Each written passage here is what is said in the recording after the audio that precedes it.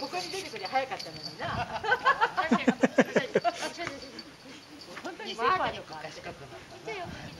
まだ赤ちゃんだから。もうすぐ6ヶ月。それでもやっと6ヶ月なんだよね、えパパさフェイスブックあれなの？パソコンから入ったの？そう。なんとなく入った。らなんか出てきたからほら何これ？っつって。ラ服部ってなんか聞いたことないある名前だ。